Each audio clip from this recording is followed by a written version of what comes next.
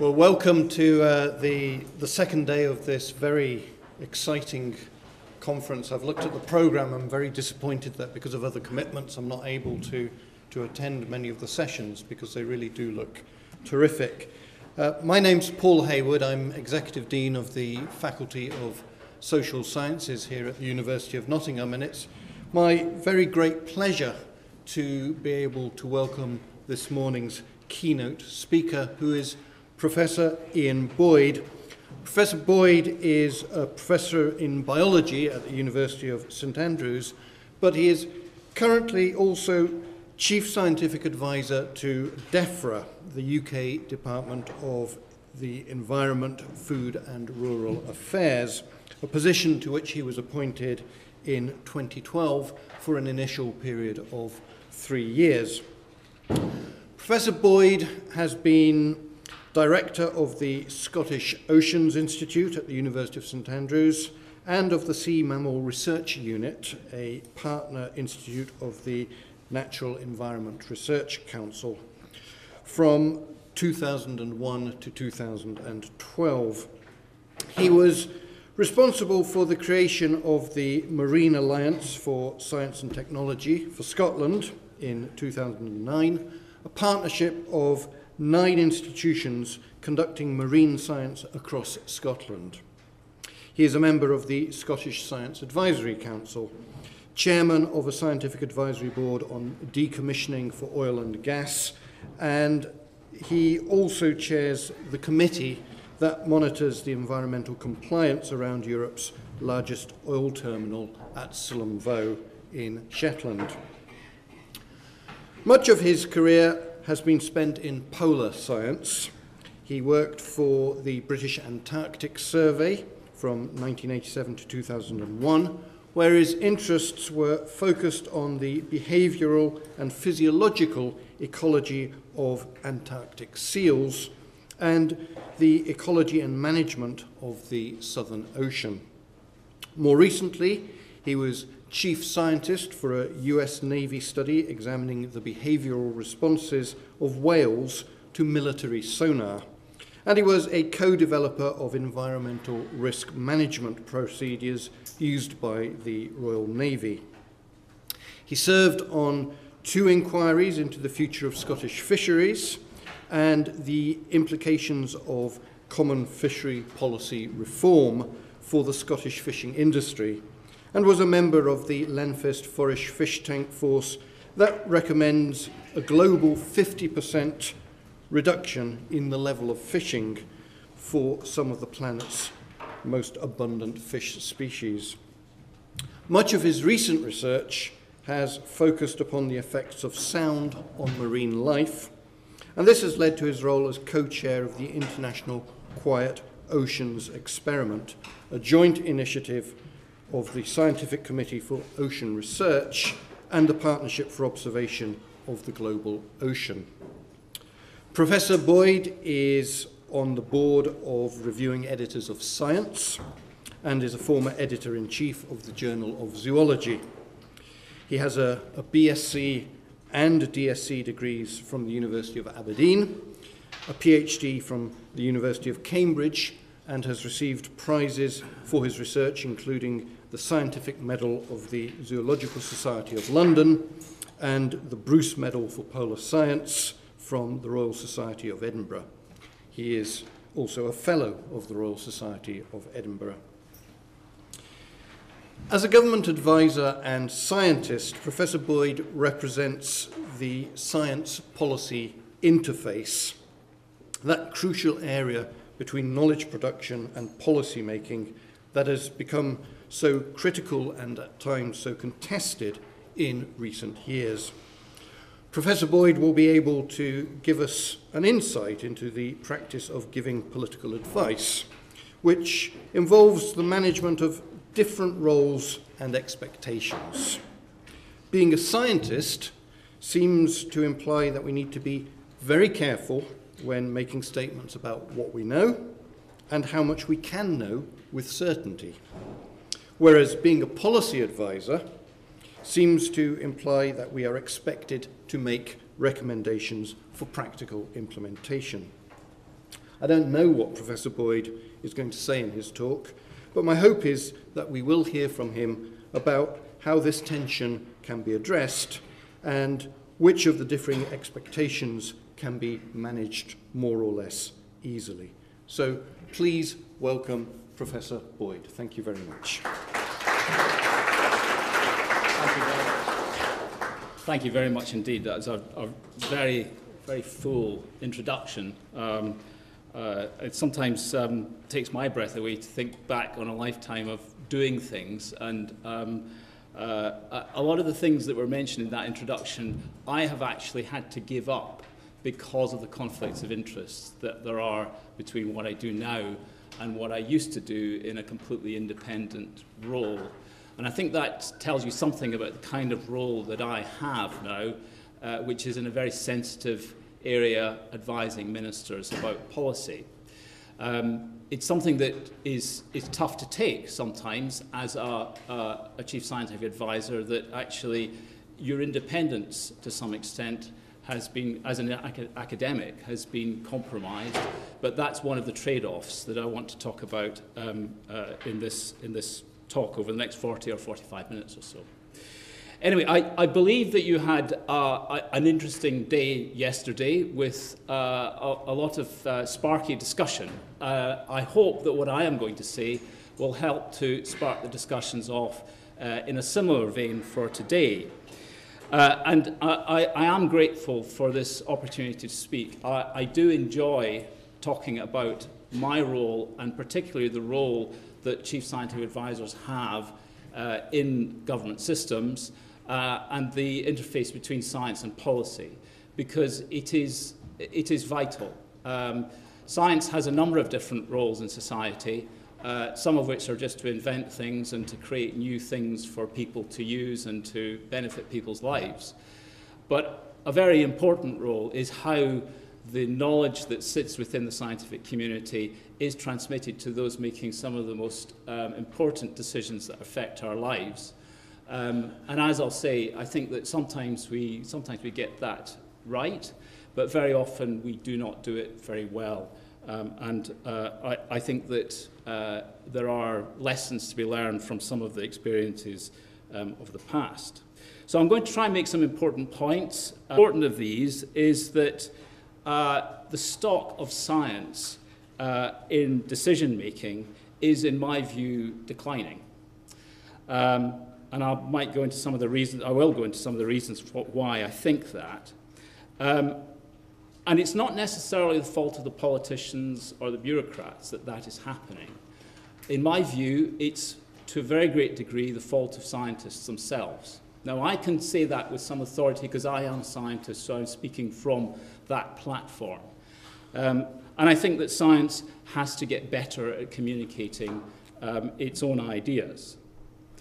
Uh, so I, what I'd like to try to do in this talk is address the dual challenge of providing policy-relevant evidence and how we can better communicate that evidence uh, to all the main players, and that's uh, uh politicians, uh, bureaucrats, and most importantly all, of all, the public. Um, but I think above all, and going back to the title of this session, what I want to be is an advocate uh, for scientists having a role in calming the waters rather than stirring things up. There's enough other people stirring things up, uh, and I think that scientists have a very important role in terms of uh, providing um, uh, uh, the capacity to calm waters.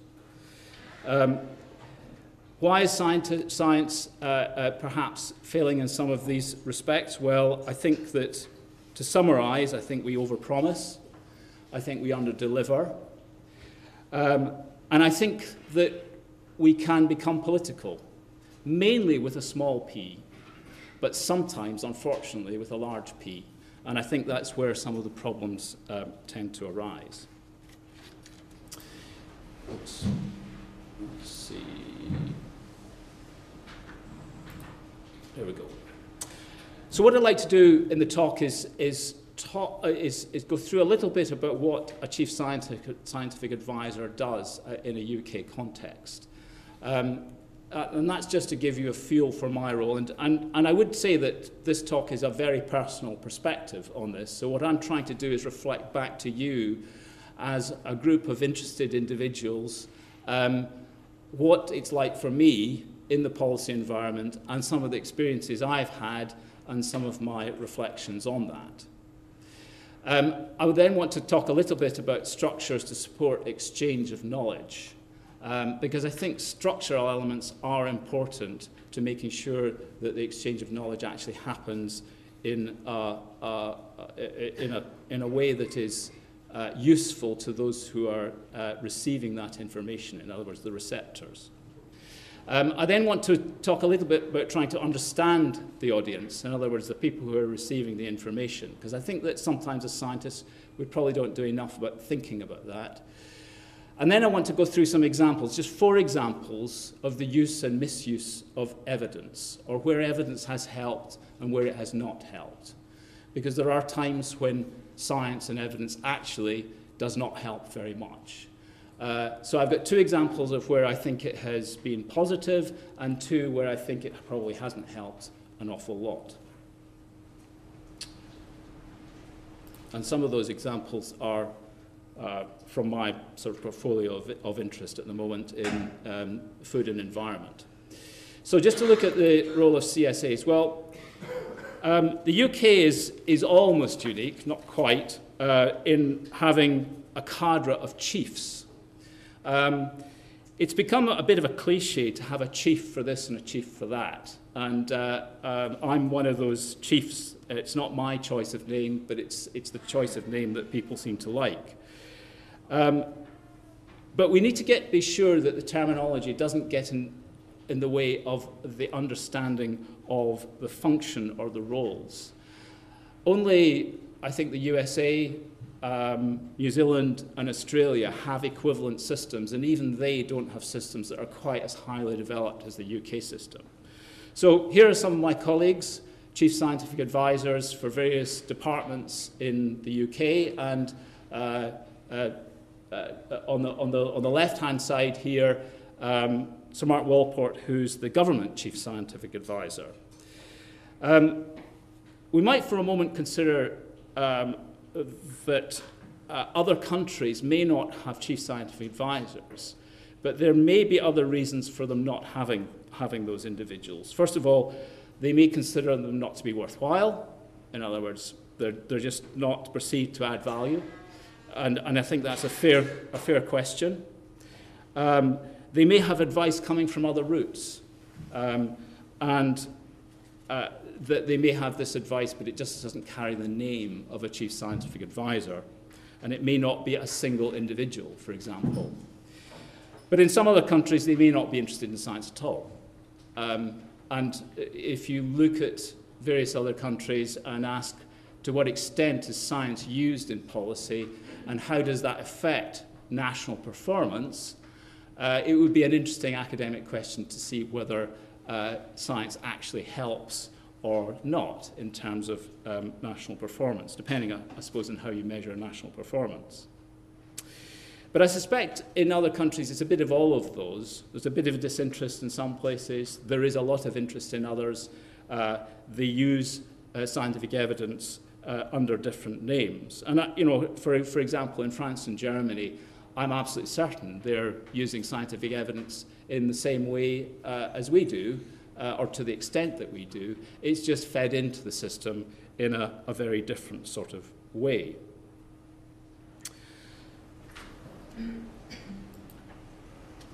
So what I want to do is, is talk a little bit about some of the lessons that um, I have learned um, as a chief scientific advisor um, in the policy environment. And remember, I just came from an academic background. Okay, I had a background in working with industry, I had a background in working with Ministry of Defence, uh, with uh, various environment and rural affairs departments and things like that. So my history was, although based, based in academic research, it was, a, it was often, not always, but often at the interface uh, between uh, science and decision making. I think the first lesson I would say is that um, uh, government is hard work. um, it's not easy to make some of the decisions that politicians have to make.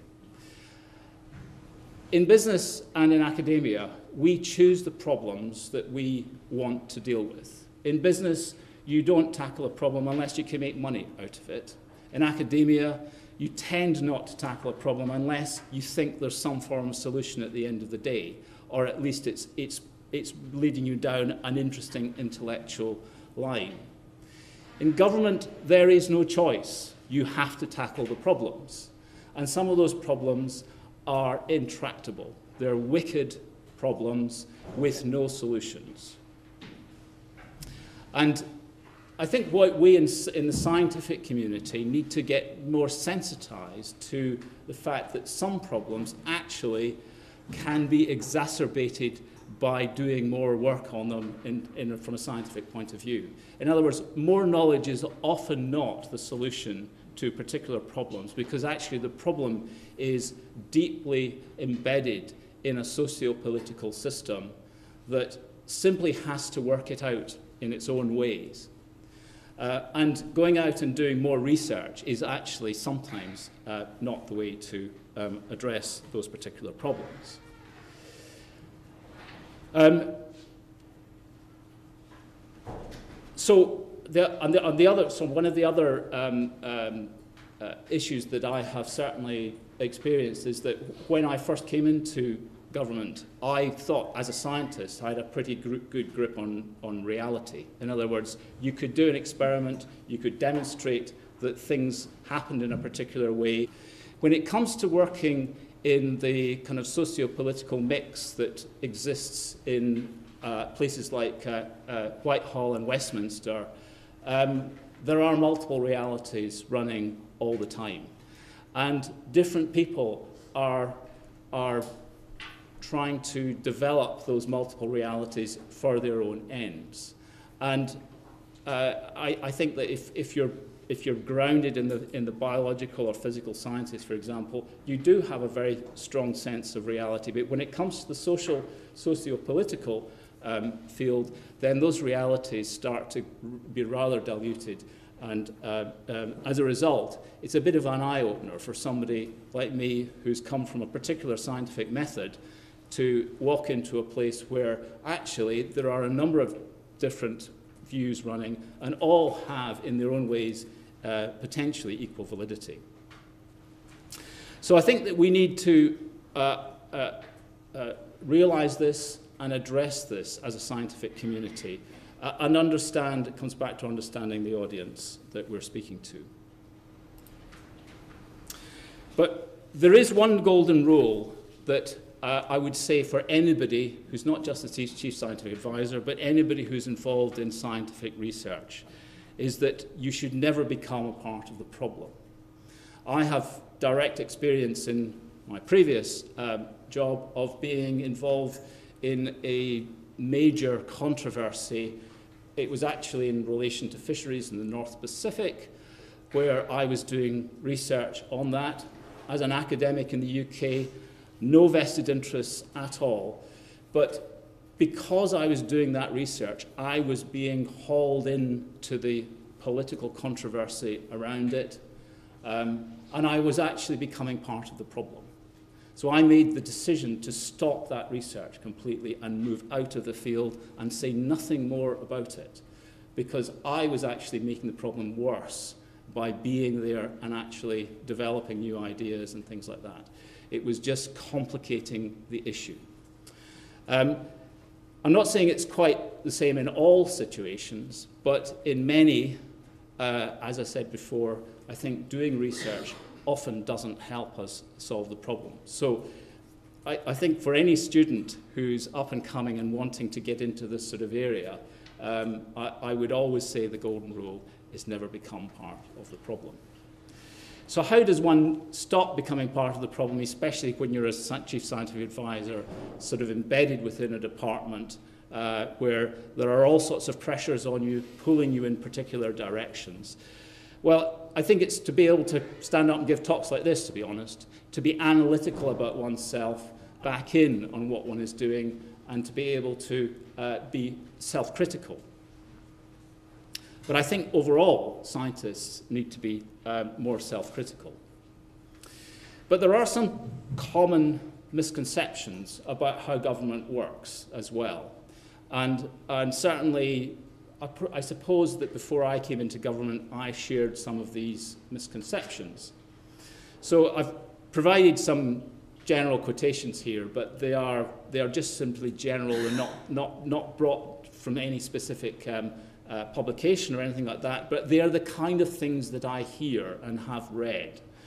For example, politicians don't, do not use science and ignore the evidence. My experience, and I've worked with uh, eight different politicians in the two years that I have been in the job, um, my experience is that they do use science, they do want to use science, and they try not to ignore the evidence.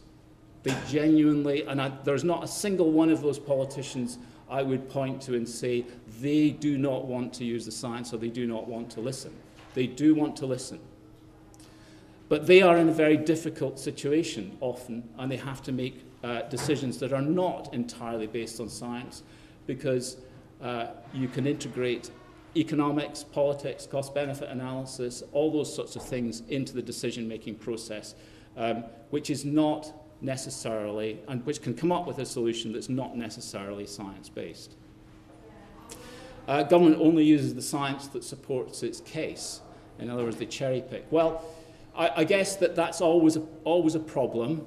But again, my experience is that government is actually tends to be um, bend over backwards to try to use evidence in a balanced way, uh, when in fact a lot of the critics and a lot of the stakeholders who they are having to cope with are very much cherry picking the evidence.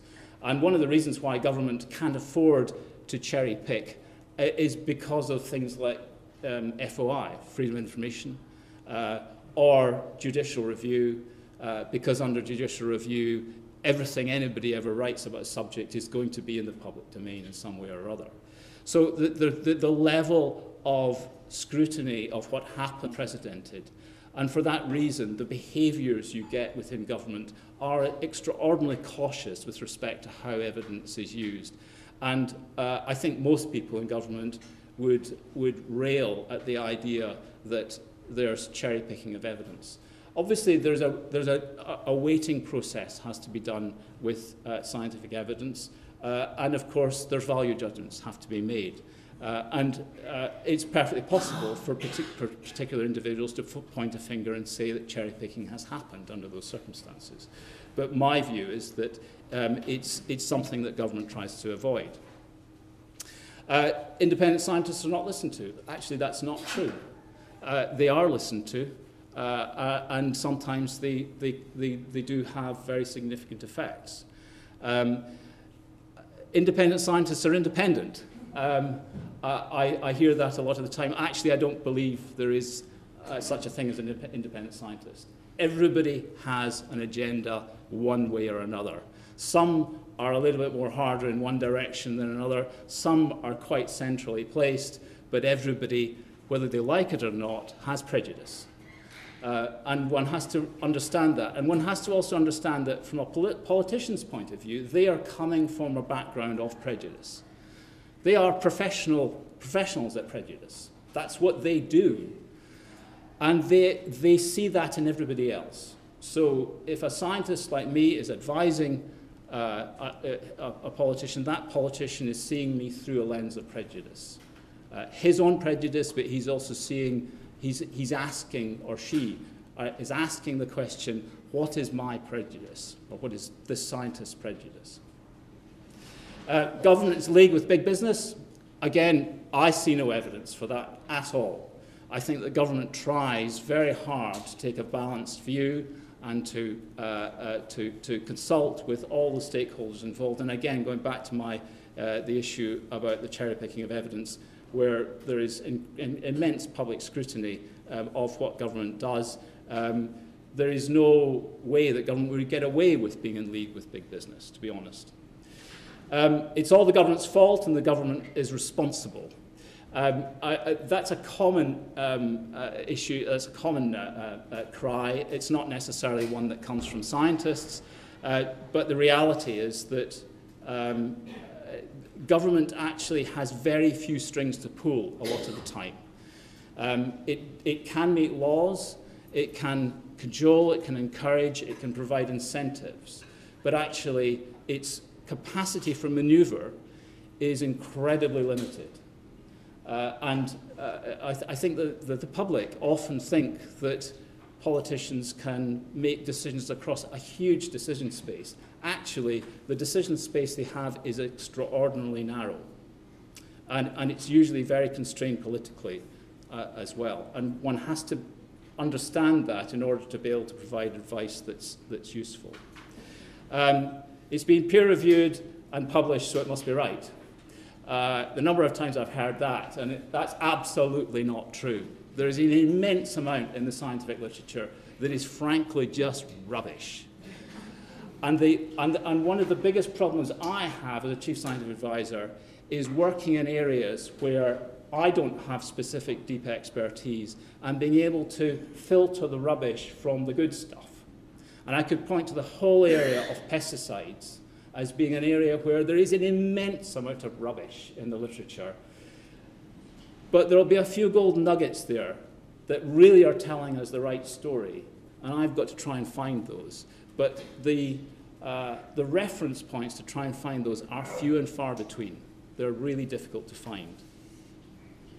Um, science, including economics and social science, is a firm foundation for policy making. Not true. I've already said that science and, and all the other things that go with it can sometimes actually get in the way of good policy making because sometimes the problem is not about information and the validity of information, it's about how people are able to align themselves to a particular set of values or judgments. And that is a political and social process. It's not one that can be very well informed by science. Um, so, uh, what is kind of my job description? In other words, what do I actually do? Well, here's, um, here's a set of what I would call operational priorities for somebody like me. Um, risk management is important. I actually am responsible for um, all of uh, uh, or developing the uh, the knowledge base and the capabilities underlying all of DEFRA's risks. And for those of you who know about DEFRA, Department of Environment, Food and Rural Affairs, environment, the number of risks we have are enormous. I've mentioned pesticides, but there's an immense amount, um, uh, immense number of risks sitting there, uh, many of which rely on the biosecurity space, but we also have food security risks as well. Um, and knowing about those risks, understanding them, and making sure that a department like the Department for Environment, Food and Rural Affairs is up to managing them is part of my responsibility. So we don't want to take, we want to know what the risk is of making bad decisions, and uh, as I've said here, there are sometimes long time lags in that. So we can make decisions now, and uh, the negativity of them might not be uh, felt for another 10 years or so. Um, so, you know, we can license a pesticide now that could be absolutely awful, but it takes 10 years for us to find out that actually it's really not, it wasn't a good idea. Um, modeling alternative futures. In other words, trying to ensure that we have a, a, a, a basis upon which to make uh, uh, rational decisions about what the future might look like. Um, so that's about horizon scanning. Um, and horizon scanning is a really difficult thing to do well, but uh, nevertheless, it's something we have to try to do. Um, in the introduction, mention was made of uncertainties. We need to be able to understand what our uncertainties are uh, and understand them in the context of the epistemic and aleatory risks, in other words, the known unknowns and the unknown unknowns. I don't make myself at all popular in DEFRA when I put my hand up and say in front of ministers, ah, but have you thought of the unknown unknown? You know, that's, for politicians, that's a really hard thing to deal with. Um, and, the, and the, frankly, they don't like it because, because what they want is certainty. They really want a certainty. And in science, we often deliver a lot of uncertainty. Now, you know, I think you could argue that it's very important, in fact, I would argue that it's very important that we are totally honest about the uncertainty there is in the information we give. Uh, but we have to understand that the person listening to that doesn't like to hear that.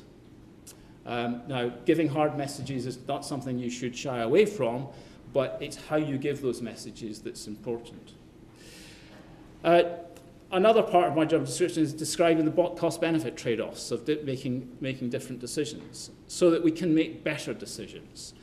This is, where the, this is really the economist's territory. I'm not an economist, but I do, I do understand cost-benefit trade-offs in the biological world because I actually studied that in, uh, in marine mammals, of all things.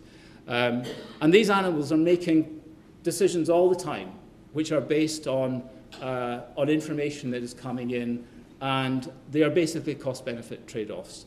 Uh, and we have to be better at making those decisions ourselves. And we have to understand the payoffs associated with that, and um, we also have to have objective measurement about how we're doing. In other words, we need to evaluate the kind of uh, uh, policy decisions we've made and be absolutely brutally honest about whether we are uh, being, uh, we're making good decisions or not. I also have responsibility for organising evidence delivery into DEFRA, uh, and that's, I've already mentioned the problems about the quality of the literature, it's about quality control, uh, it's about managing our knowledge. And then the thing that excites me more than anything else, right down at the bottom of the screen here, is stimulating innovation. In other words, using the funding that we have to stimulate the academic community to come up with new ideas that will solve problems for us. Um, so what are the constraints on people like me? Well, uh, we often have a lot of very complex ideas. I mean, I think things that we think of as being relatively simple in the academic community to non-academics can uh, appear just a complete maze of complexity. Um, so we have to get better at trying to communicate complex ideas.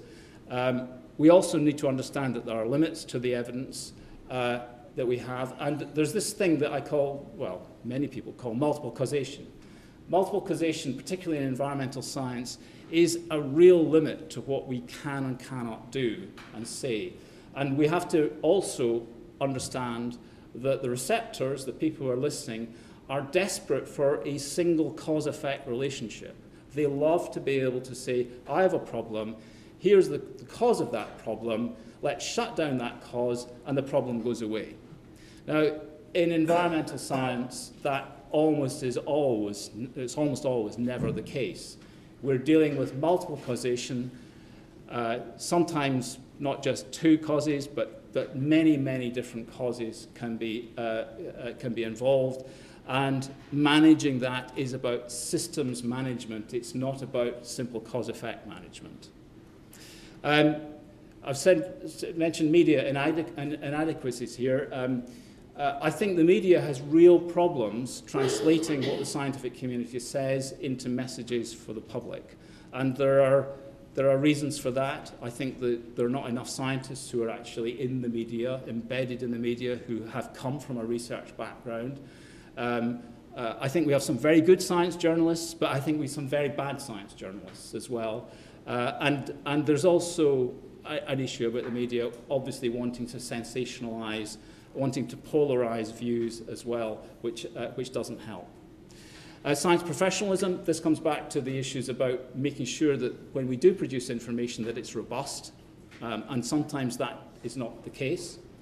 Uh, and we also have problems around pseudoscience. I think that in some professions, um, if you're a practicing lawyer or a practicing medic, uh, you can be pretty well uh, sort of classified into those professions scientists are, there's a huge range of different scientists and a huge range of qualifications and things like that. And I, I think at the low end of the scientific spectrum, we get a lot of what I would call pseudoscience sitting in there, uh, which doesn't help because it's very hard for the public politicians, bureaucrats, to differentiate between the pseudoscience and the good hard science that's there.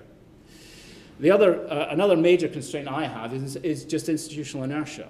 You know, managing big institutions and making them change. Um, you know, if, if I had total control over everything that happened in DEFRA, we could change things really quickly. You know, it would be wonderful, but it just doesn't happen like that. There is massive institutional inertia, and it's not just in government. I've worked with the oil and gas industry. The oil and gas companies are the same. Deepwater Horizon was a, a, a manifestation of institutional inertia uh, in, in BP, uh, and we know that. Um, so, you know, institutional inertia is a problem because it can actually lead to institutional failure um, uh, or, or major failures in, in some ways. Market failure is a problem for people like me because what I mean by market failure, well, I mean that actually I need evidence for certain areas and I can try and look in the marketplace for that evidence, in other words, around all universities, etc., and there is nobody there to supply it. Um, and actually, that is a major problem. It's one reason why DEFRA has spun up over many decades a lot of its own institutions, because it needs, it needs to be supplied with certain types of science and research, and actually there was nobody else there to do it, so DEFRA has to, has to do that itself. That may be changing. Uh, timescales are also constrained, something I call the 20-year rule. The people who are looking at some new, great new idea on the laboratory bench now, it's going to take 20 years before it will be out there in being used properly uh, in an operational context.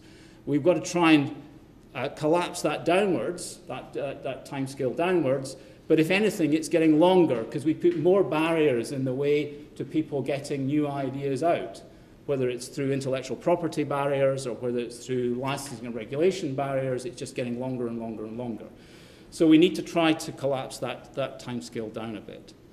Um, we also have the, the, the, the interesting problem of um, uh, contrasting values applied to short and long, long time gains and uh, time scales. And um, the, one of the issues I've had to deal with is forest health, for example. Um, and forest health, uh, you know, we can do things now, but we won't see the results of it for another 50 years or so.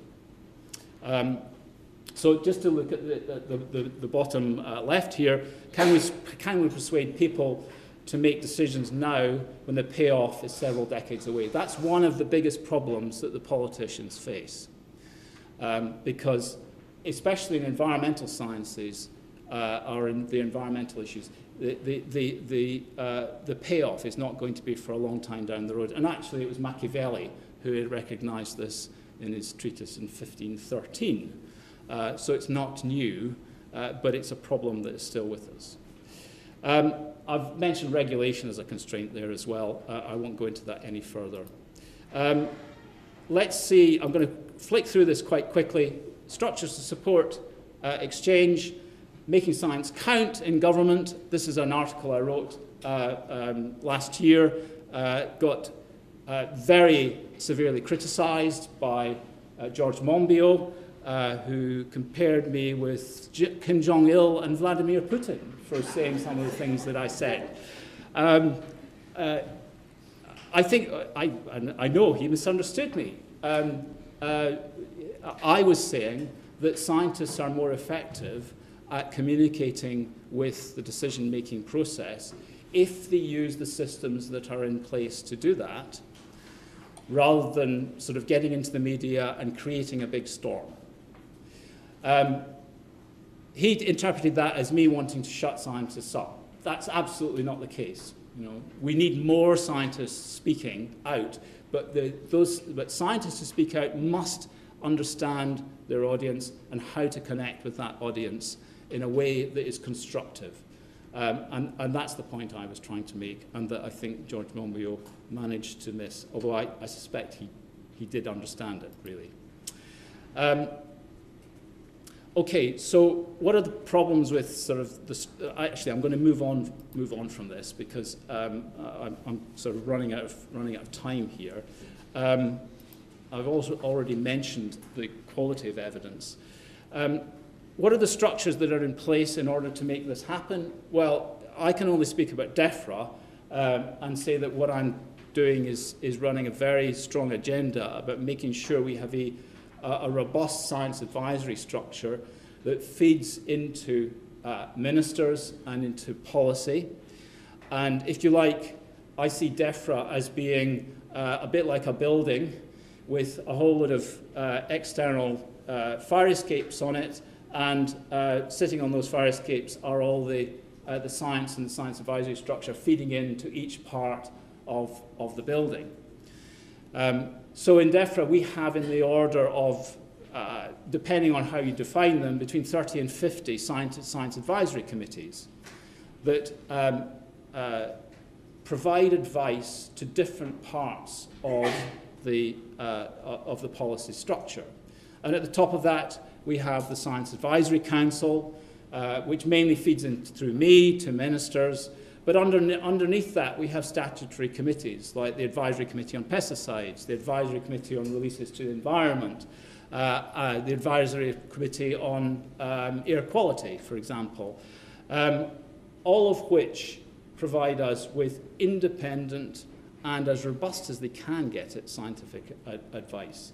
We also set up ad hoc advisory committees when we have new problems that arise. For example, I set up one recently on pollinators, which uh, has, has helped us greatly uh, develop our new uh, pollinator strategy.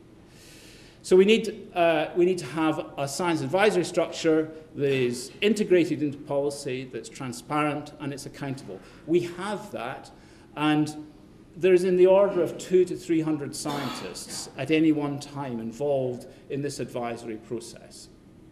So to say that science is not used in government is completely wrong. And I think you could probably speak to many of the individuals on these committees and, uh, and get, that, uh, get a, a, clear view from them about that.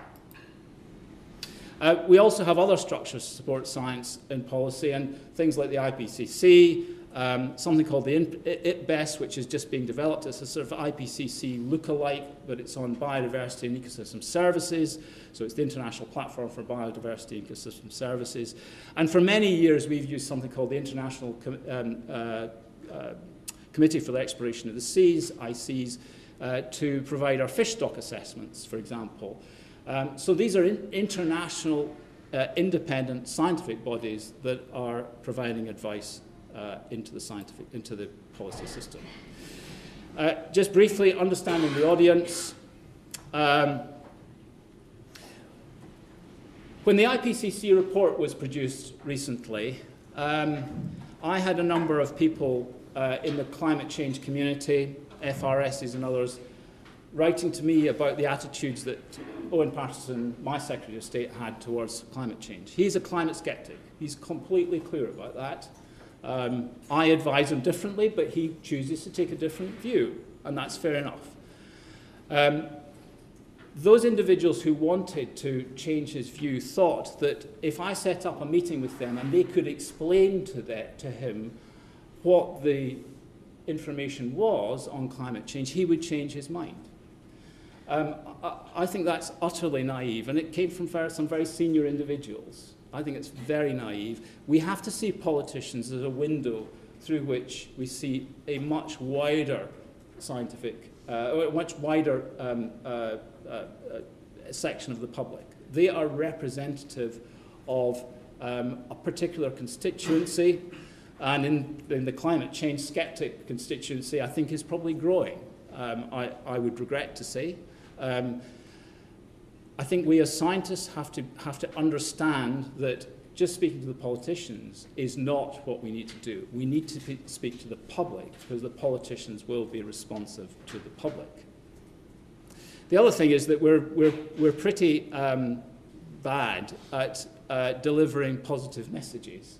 Um, we've got to find ways of um, getting the message over that is not all negative, all bad. And certainly in environmental sciences, there are some real challenges there, but we need to provide the public with short-term positive news on the things that are going well as well. Um, so scientists often make mistakes about the audience. I've just mentioned about uh, you know, the idea that speaking to politicians is what we want to do. Actually, we need to speak to the public. Um, I've already mentioned that we try to deliver messages that are far too complicated. We need to simplify the message, even, even at the cost of getting it not quite right. It's better to get the right message over than to get all the detail over. The other thing is that we've got to try to think about solutions rather than problems more, especially in the environmental sciences, where, you know, as, as I said, there are big problems, uh, but we need to be able to provide short-term solutions so that, that people can take positive messages from, from what's happening. Um, we, also, we often also in science, I think, have a misunderstanding about how to communicate, and we need to get more strategic about how we structure our communication. And this is where the, the scientific societies, the Royal Society, Society for Biology, uh, and various other societies can actually uh, start to help, um, where they can have a much more structured communication, uh, set of communications with policymakers. And I think the Royal Society is beginning that, certainly with climate change, uh, but it's a bit late. Uh, and we completely got it wrong with GM. You know, that was, that's a, a classic case of getting it totally wrong, and we're beginning to get our act in order with that one. But as I said at the bottom here, we've got a lot of evidence that says that science just doesn't get its messages over very well. We're having low uptake of science in schools, and science, I think, is being culturally isolated within the community as well. So here's four examples, very quickly at the end, on the use or not or of evidence, where evidence has helped.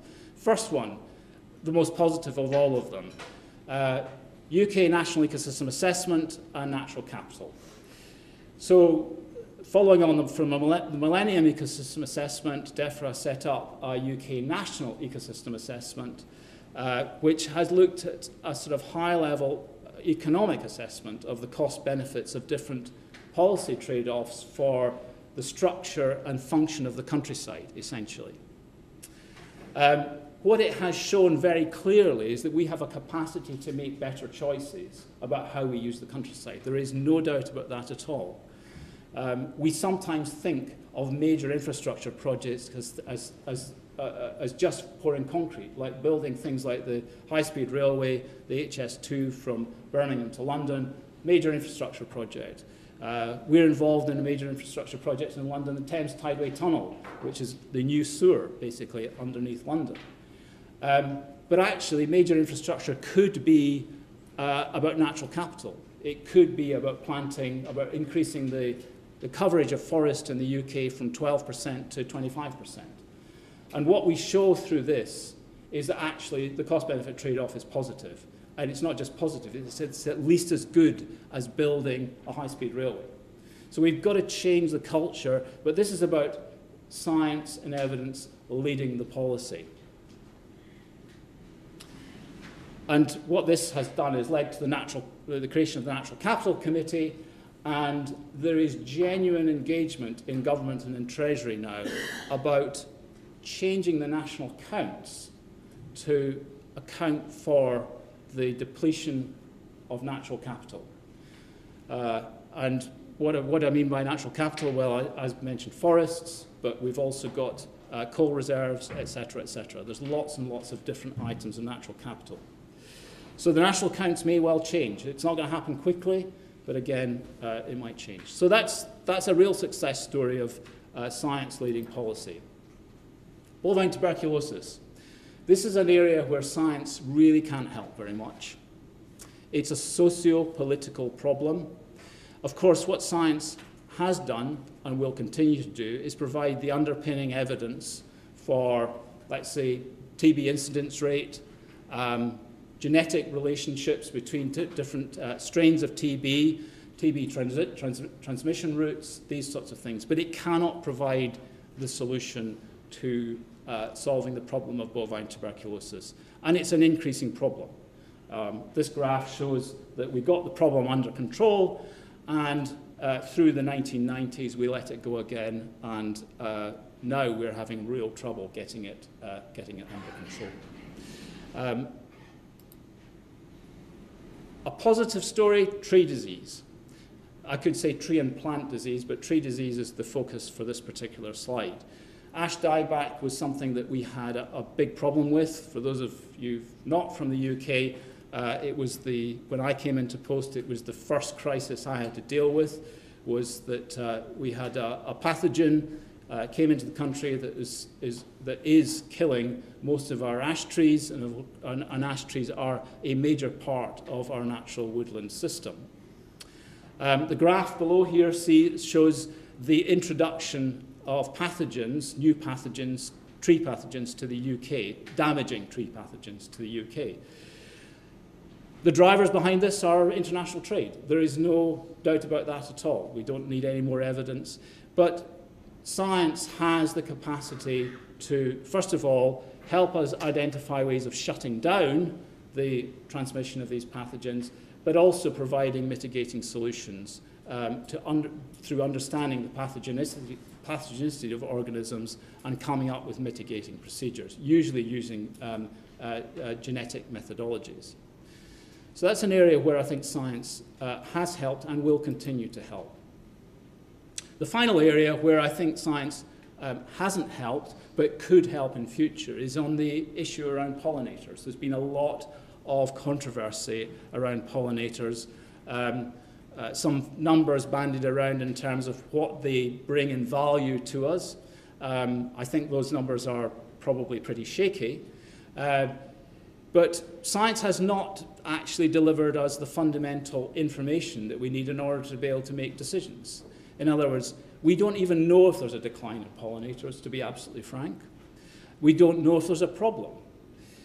We listen to people who say there's a problem, and actually, I think they're probably right. There probably is a problem there, but the science, scientific community has not provided us with the basic information that we need in order to be able to make uh, well structured decisions. So, the only decision we come up, come up with is a strategy, the first item of which is we need to do some research. Um, but this feeds back into how we then respond to things like neonicotinoid pesticides, which uh, have been a major issue, uh, certainly in my tenure, and uh, uh whether we want to ban these pesticides or not. But the, because, because many people say that these pesticides are a cause of the decline in pollinators, when in fact we don't have evidence of a decline in pollinators at all. So should we, as the government, ban neonicotinoid pesticides? Well, the scientific community has done a whole lot of experiments around them, but in many of those experiments, they've overdosed the animals. They've, they've given an insecticide to an insect.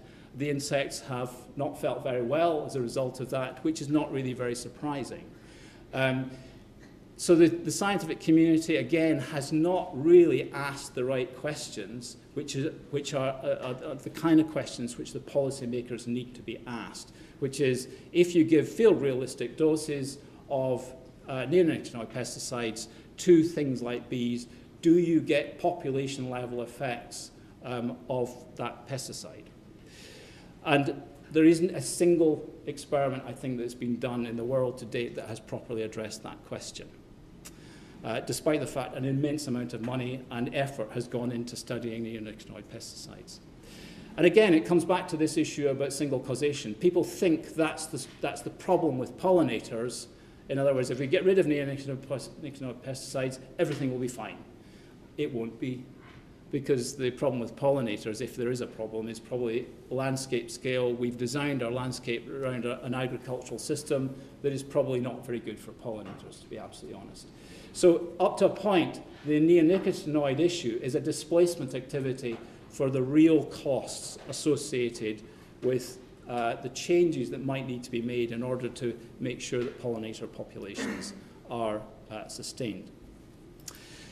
So with that, I'll finish and thank you very much for your uh, attention. And I hope that what I've said has sparked a few, um, few controversies around the room, and I'd be happy to take any questions if you want.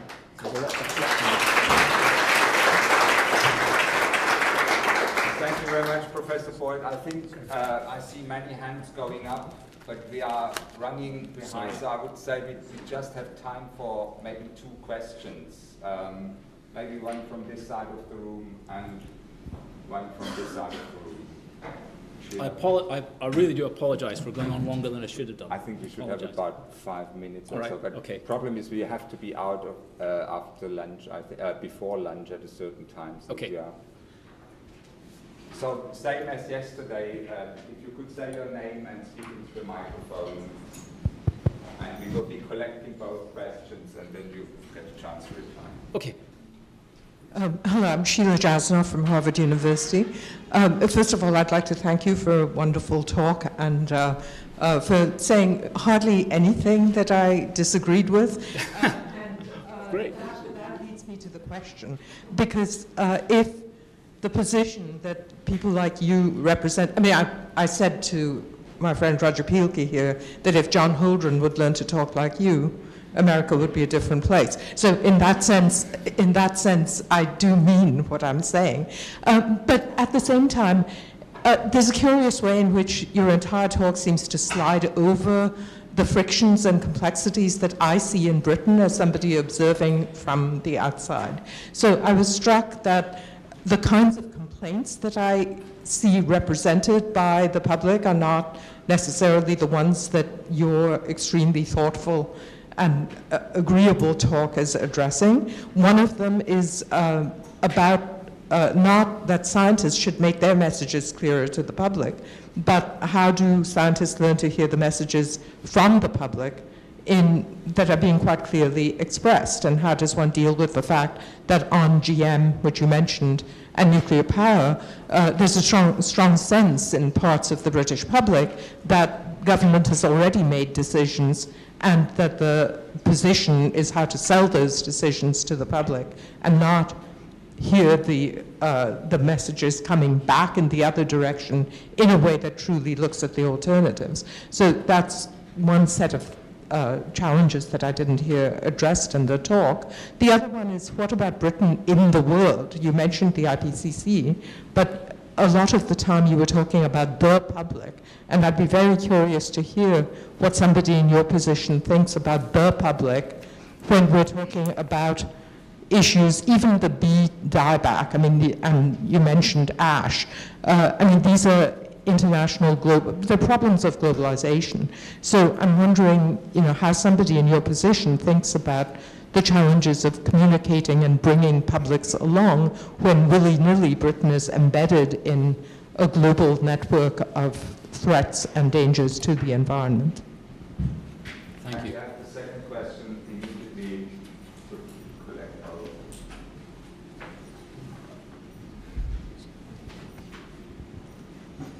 Um, Tim Johnson from Heriot Watt. Um, you described a situation where you were doing research on the Northern Pacific and you explained that you were a disinterested party and I took that to mean disinterested in the political debate. A couple of slides later you claimed that there's no such thing as an independent scientist and I wondered if as a younger researcher, you associated being disinterested in politics with being independent, and perhaps the problem was that you can't really make that association. Yeah. Okay. Uh, okay, so shall I have a go at those?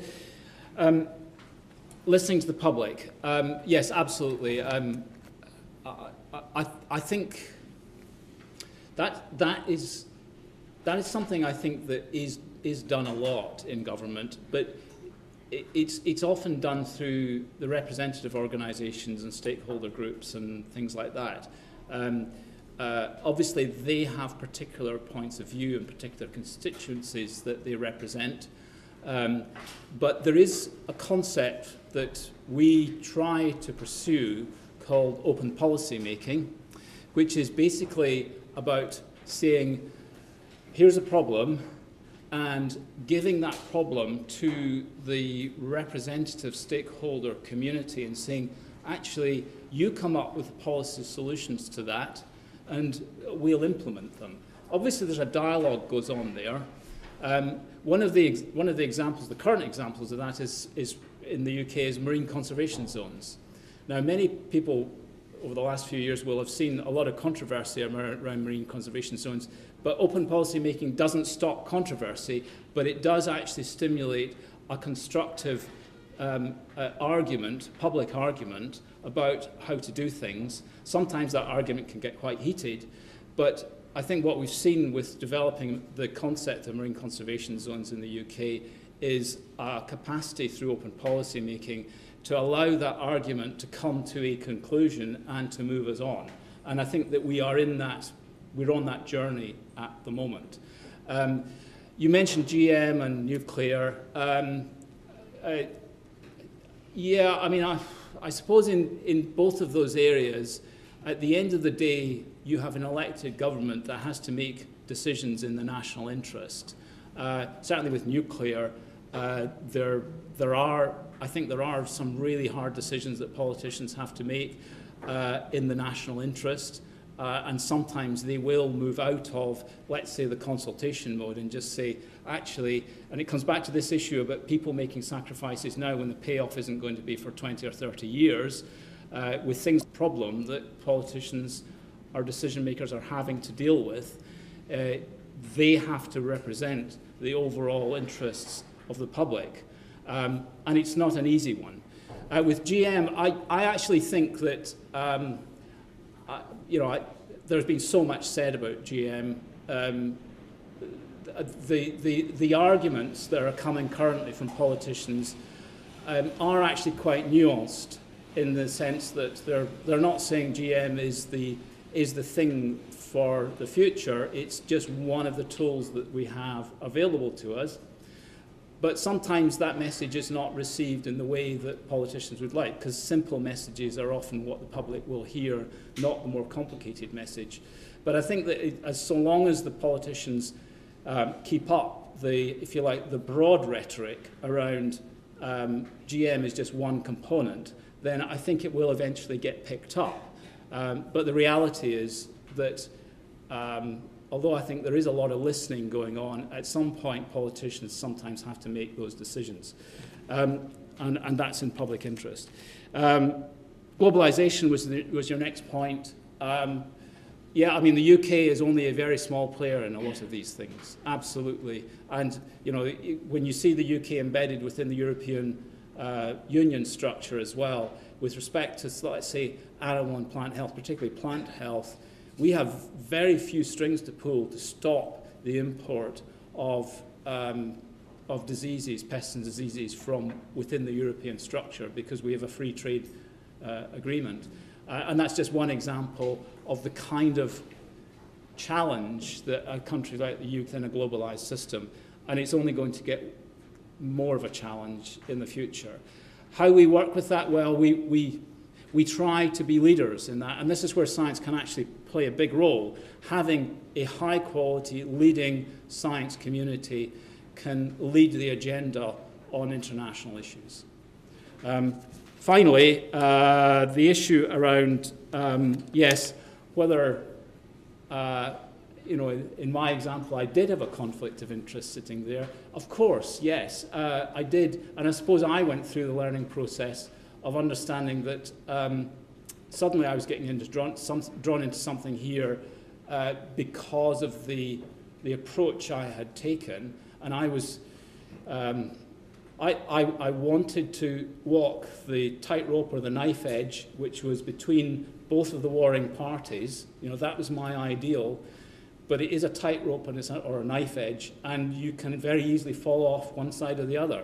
And um, I was falling off on one side, so I decided to get out. Um, but, but the reason I fell off on one side was probably because of embedded prejudice. And, and so you learn about your own embedded prejudices. I don't know if that helps. Okay, I think we'll, we'll, it, we'll have to leave it here in the interest of You've got time. to know how to control it. Uh, I and recognize we, we it. should thank our speaker again for this very insightful talk.